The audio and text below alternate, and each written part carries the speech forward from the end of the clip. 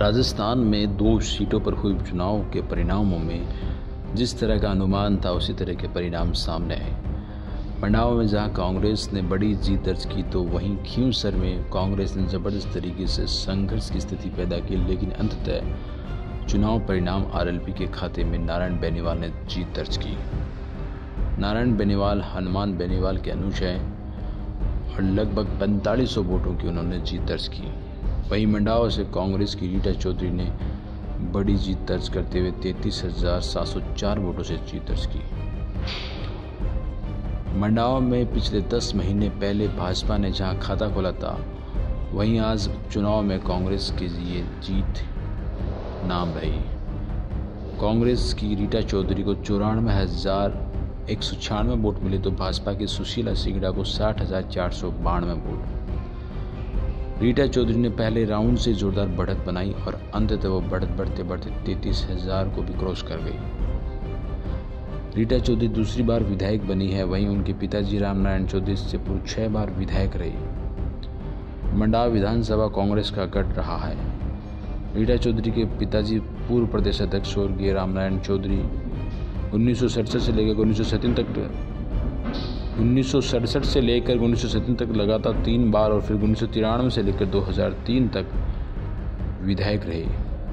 2008 में रीटा चौधरी पहली बार विधायक बनी और 2013 के चुनाव में निर्दलीय नरेंद्र खीचड़ विजय रहे हुए अगली बार बीजेपी के सिंबल से।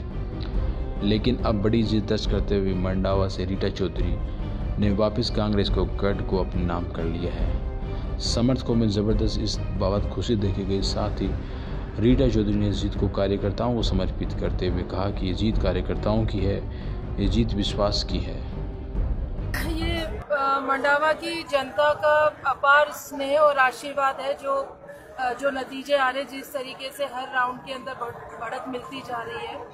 बहुत बहुत सारा प्रेम, शुभकामनाएँ और आशीर्वाद जनता का मुझ पे रहा। जहाँ जहाँ गई महिलाओं का इतना प्यार मुझे मिला है, युवाओं का मिला है मैं अपने आप को बहुत गौरवान्वित महसूस कर रही हूँ मंडावा से मुझे जो टिकट मिली और जो रुझान चल वहीं खींवसर की बात करें तो खींवसर में ज़बरदस्त पहले राउंड में कांग्रेस के हरेंद्र मिर्ज़ा ने लीड ली, लेकिन तीन राउंड बाद में नारायण बेनीवाल ने वापसी की और लगातार उतार चढ़ाव के राउंड के बाद अंततः नारायण बेनीवाल आरएलपी के ने जीत दर्ज की। नारायण बेनीवाल की जीत के बाद में लगातार आरएलपी और बीजेपी समर्थकों का जोश देखा गया।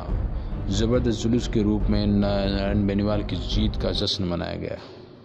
खनिज नीति प्रत्येक व्यक्ति को खनन पट्टा मिले उसके अलावा कृषि कनौशनों के नियमितीकरण और जो बेरोजगार साथी है मेरे उनके लिए रोज़गार के नए अवसर पैदा हो स्किल डेवलपमेंट के प्रोग्राम हम लेके आएँगे और सबसे बड़ा जिसकी ज़रूरत है सहकार तंत्र को मज़बूत करने के लिए मैं पूरा प्रयास करूँगा। सरकार यहाँ रही देखिए, लोकतंत्र में तो जनता जनार्दन है। हाँ हालाँकि कोशिश सरकार ने ज़रूर की, वरना हम तीस पैंतीस हज़ार वोटों से जीते मशीनरी का दुरुपयोग करके और ये हमारा जो मार्जिन जो कम है, उसका मुख्य कारण यह है अठारह हज़ार का बहुत बड़ा पुलिस का जो बल है, वो यहाँ क्षेत्र में घूमता रहा। मैं तो मीडिया के माध्यम से अपील करूँगा आप लोगों से कि ऐसे मुद्दे ज़रूर उठाने चाहिए कि सरकारें आइंदा किसी मतदाता का शोषण नहीं करें।